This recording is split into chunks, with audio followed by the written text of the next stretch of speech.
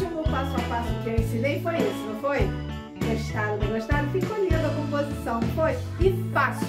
Para iniciante, ó, mamão com açúcar, não foi? Então, vou mostrar agora também para iniciante ou você mesmo que está com pressa e quer fazer um produto, Natal está chegando, quer fazer um produto rápido para vender, vou ensinar também a fazer esse conjuntinho, só que invertendo. Onde é liso é estampado, onde é estampado é liso mostrar para vocês a composição de cores e como você pode fazer uma coisa simples ficar uma coisa belíssima, tá bom? Então, não esquece de compartilhar, se inscrever, dar like, me acompanhe nas redes sociais, no Instagram, Facebook e do meu WhatsApp. Os moldes, tá?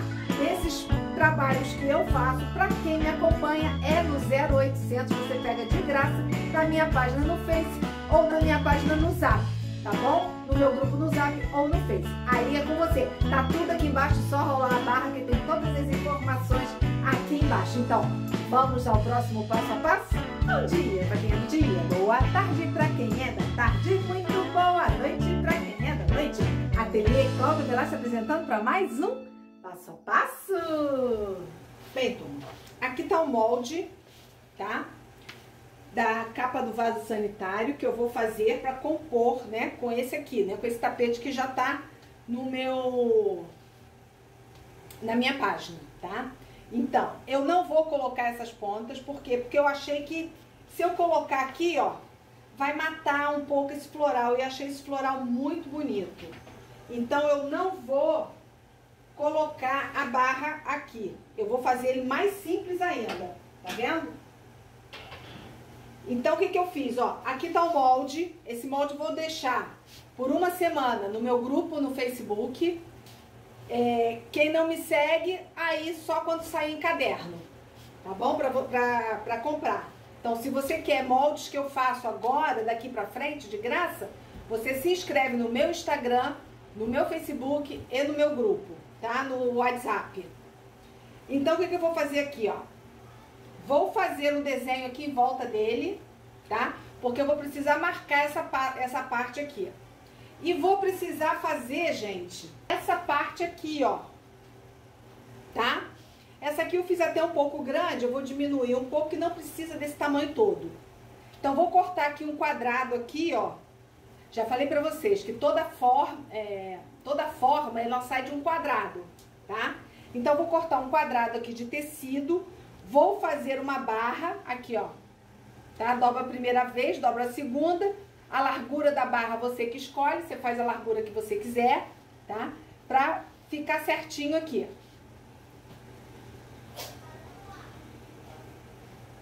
Ó, tá aqui o tecido. Então, vou pegar aqui, ó, e escolher aqui um tamanho aqui pra fazer uma borda aqui, ó. Nada muito grande. Aqui, ó. Acho que esse tamanho tá bom. Ó.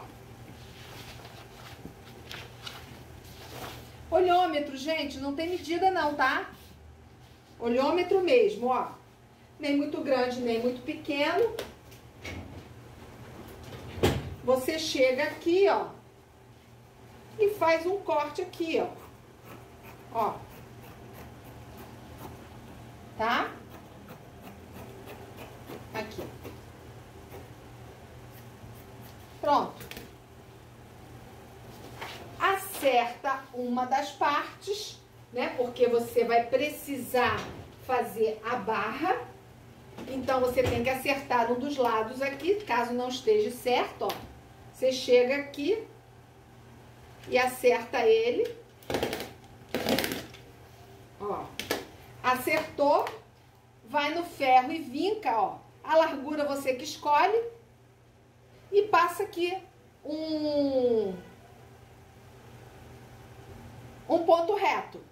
Ou pode ser um ponto de bordar, tanto faz. Tá bom? Você que sabe o que, que você vai passar, qual pontinho que você vai passar aqui, tá? Pronto, gente, ó, já fiz aqui, ó, barrado, tá tudo tranquilo. Aqui também, ó. Gente, tem bicho sete cabeças nenhum, né? Fiz, coloquei a manta, essa manta é R1, tá? Por que R1? Porque ela só tem cola de um lado. Fui no ferro, bati ela aqui pra cola soltar e aderir ao tecido, tá? Não é passar, gente, é você tem que deixar o ferro até ele esquentar o suficiente para poder soltar essa cola e aderir ao tecido, tá? Aí depois que eu colei, eu vim aqui com a régua, escolhi aqui qual, aleatoriamente, passei aqui uma linha, tá? De 4 em 4 centímetros, tá? Aqui, ó. Pode ver pelo lado de cá, ó. De 4 em 4 centímetros, passei uma linha. Agora eu vou vir aqui com o meu molde, né? Ó, vou colocar aqui e vou desenhar esse molde aqui. Sendo que, gente, depois que eu desenhar aqui, eu tenho que fazer a parte do forro, que é essa parte aqui, ó.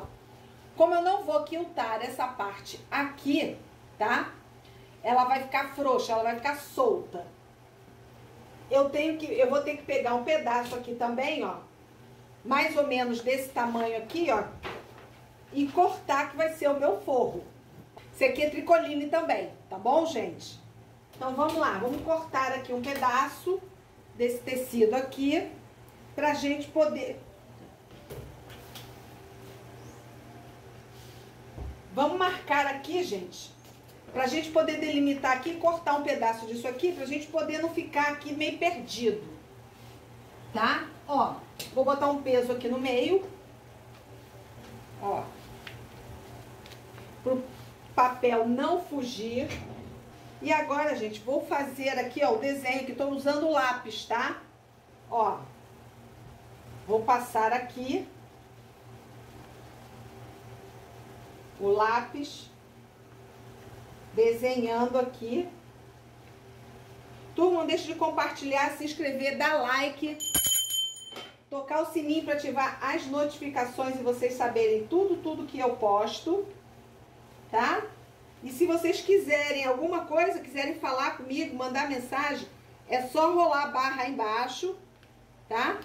que tem tudo aí como você pode entrar em contato comigo, adquirir meus moldes, entrar nas minhas páginas, tá? Tá tudo aí embaixo, tá? Só rolar aí para vocês entrarem em contato comigo, para qualquer coisa, comprar meus moldes, falar comigo, entrar no meu zap, tá bom? Pronto, marquei, gente, ó. Vou cortar um pouco desse excesso, porque não tem necessidade desse tecido todo aqui e fica difícil de eu trabalhar. Tá? Então, vou cortar aqui, ó, um pedaço. Gente, não use sua tesoura de tecido para cortar isso, tá? Porque senão você cega a sua tesoura. Ó cortando esse excesso todo aqui, porque não tem necessidade. Pronto, tirei isso tudo. Gente, vamos precisar do forro, tá? Então, vou pegar o forro aqui, ó. O forro também é tricoline. Ó. Pegar o forro aqui. Vou colocar aqui em cima e vou cortar esse tecido aqui de acordo com esse tecido que tá aqui, ó. Tá? Ó.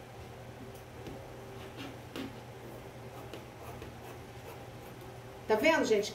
Tem nada medido assim, milimetricamente, não. É para iniciante mesmo. Deixa eu cortar um pedaço aqui que eu esqueci de cortar aqui, Tá? Não precisa da placa, se você não quiser, não quiser fazer certinho, certinho, não precisa. Ó. Tá? Aí.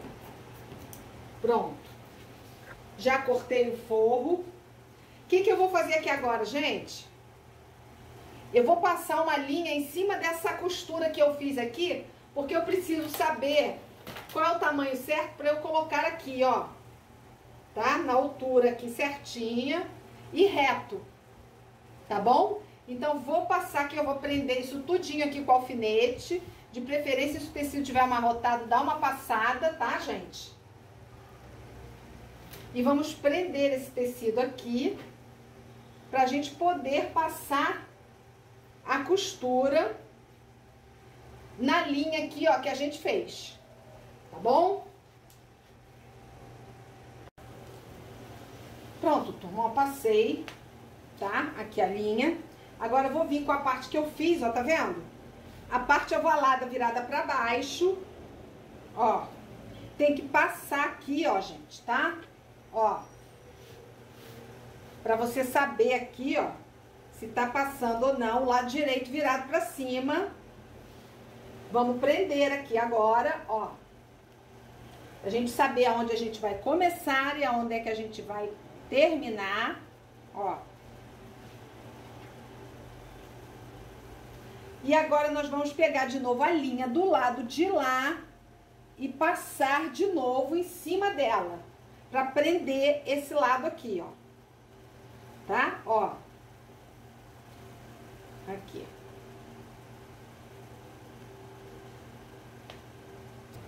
Pronto, turma, passei.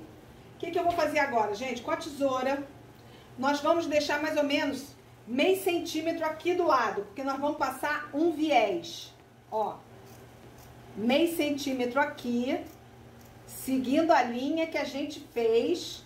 Se você preferir, pode cortar do lado de cá, que fica mais fácil, né? Tá? Ó. Vamos cortar aqui, deixando meio centímetro.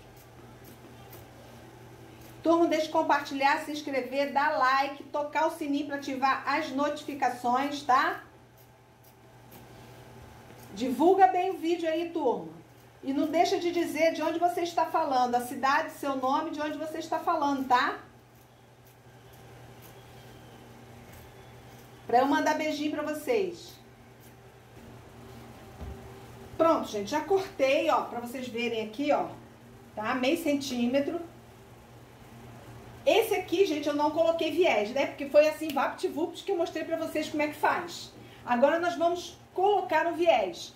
Escolhi o viés que não vai sobressair tanto, tá? Que é mais ou menos a, a, a, o fundo aqui, ó. Ele não vai pular. Você pode pegar o tecido e fazer um viés, não tem problema nenhum. Tem várias formas. Eu vou fazer a forma mais simples aqui, ó. Você vai pegar a parte reta, dobrar o viés, ó, no meio é, part... é o jeito mais fácil de colocar viés, gente. E fazer canto mitrado. Ó. Vai vir aqui. Ó. Prender. Aqui, ó. Prendeu aqui, ó. Vem prendendo. Quando chegar aqui, gente, você tá indo pra lá, você não tá indo pra cá? Mas você tem que vir pra cá, não tá? Então, você vai segurar aqui, ó e vai virar para cá formando dois bicos, ó. Um bico para cada lado. Pronto. Fez o canto mitrado, ó. E agora você vai circular ele todinho aqui, ó. Tá? Fez ele todinho aqui. Quando você chegar aqui, gente, ó. Vou ensinar vocês a fazer um acabamento beleza, ó.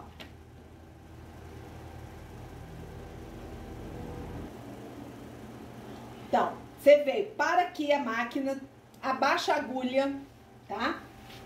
Vai transpassar esse pedaço pra cima desse aqui, porque você não vai começar aqui na beirada, gente. Vocês vão começar mais ou menos aqui, ó. Você vai deixar essa parte aqui solta. Porque você vai vir com esse aqui, ó. E vai juntar, unir esses dois aqui assim, ó. Vai vir com um alfinete, ó. E vai prender aqui, ó. Ó. Tá? Vai tirar da máquina vai virar e vai passar uma costura aqui, ó. Aonde você colocou o alfinete. Vai cortar o excesso e vai abrir e vai encaixar aqui, ó. Vai ficar certinho. Tá bom? Esse é o pulo do gatinho. Então daqui a pouco eu mostro pra vocês. E aí, turma, gostaram do passo a passo? Então vocês vão ver aqui embaixo toda a metragem que tem. Quem quiser o molde, se inscreve no meu grupo no Facebook ou pede para participar do meu zap. As informações estão todas aqui embaixo, é só vocês rolarem a barra, tá bom? Se quiserem comprar algum produto meu, podem ir direto no site ou podem também entrar em contato comigo pelo zap que está aqui embaixo também. Se vocês quiserem minha calculadora, meus moldes, os moldes que já foram, já, tá? Porque quem me acompanha, quem me segue, tem molde de graça, tá bom? Então vamos ao que interessa, porque tá bom a beça? E gente, não deixe de compartilhar, se inscrever, dar like, tocar o sininho para ativar as notificações e vocês saberem tudo que eu posto, tá bom? Então vamos lá. Já tinha feito esse, né, que já está postado, né? Mostrei para vocês a diferença desse para esse aqui, né, que levou viés. Então agora eu fiz e coloquei o viés, olha, como nem aparece, porque o viés é quase da tonalidade do azul no fundo. Quem quiser fazer o viés também do tecido, para não exaltar esse azul aqui simples, pode fazer que também vai ficar bacana. E ficou assim no nosso conjunto. O que, que vocês acharam? Azul e vermelho. Gostaram? É a cor do super-homem! Azul e vermelho. Olha, gostaram? Ficou muito bacana, não ficou? Então, tá vendo? Uma coisa simples, rápida. Olha a parte de trás. Bom? Então já sabe, as medidas estão todas aqui embaixo para vocês. E quem me acompanha tem de graça os meus moldes, tá certo? Então não deixe de compartilhar, se inscrever, dá like, dá um joinha aí? E clica aí no botão, ó, dá uma dedada aí no botão de compartilhar, que eu vou amar. Por isso, eu tô indo agora, um beijo no coração de todos vocês. Eu fui, mas eu vou!